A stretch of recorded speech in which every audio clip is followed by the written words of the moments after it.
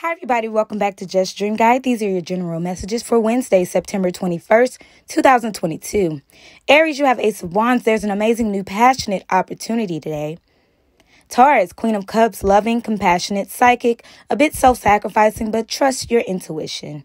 Gemini, Nine of Swords, unfounded fear, you're expecting the worst. There may be sleepless nights, change your thoughts. Cancer, King of Cups, trustworthy, honorable, devoted, a little bit cautious, but someone you can completely trust. Leo, Two of Pentacles, working too hard or multiple jobs, there's a need for more fun. Virgo, Seven of Pentacles, their seeds well planted. Have patience, there's unnecessary worry. Libra, Three of Wands, planning for the long term. Abundance from past choices. Scorpio, awakening, there's a temporary pause for reflection and insight. You're seeing things in a whole new light. Sagittarius, Nine of Pentacles, enjoying the fruits of your labor, enjoying your solitude today.